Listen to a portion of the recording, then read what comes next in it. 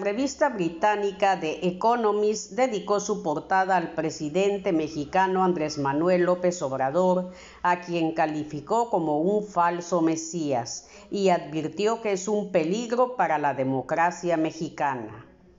Comenzamos.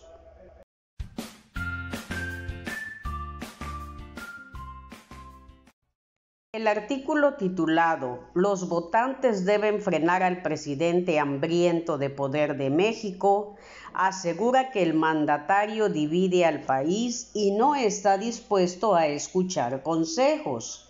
López Obrador divide a los mexicanos en dos grupos, el pueblo, por lo que se refiere a quienes lo apoyan, y la élite, a la que denuncia a menudo por su nombre como delincuentes y traidores a los que culpa de todos los problemas de México, refiere el medio.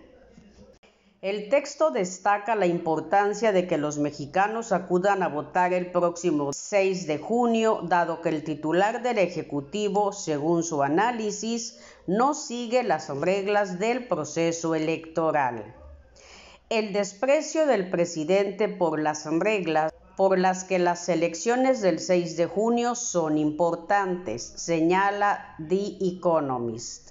La revista asegura que López Obrador sufre de lo que el periodista venezolano Moisés Naim califica como necrofilia ideológica un amor por las ideas que han sido probadas y han demostrado que no funcionan. Órale. El artículo sin firma también reconoce las decisiones del gobierno de aumentar las pensiones, subvencionar el aprendizaje de los jóvenes y destaca que México mantiene una calificación crediticia tolerable. A pesar de esto, los inversionistas, según la publicación, temen a la incertidumbre de gobernar por caprichos presidenciales.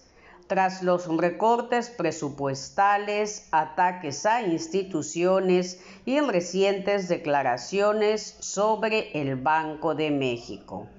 López Obrador no ha hecho que México esté más limpio, pero han resaltado la necesidad de una limpieza.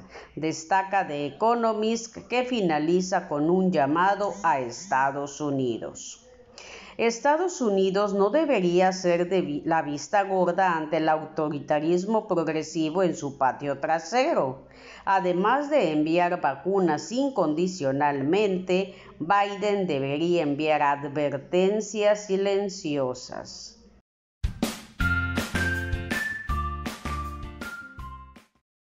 Bien, compatriotas, así es como nos ven en el mundo.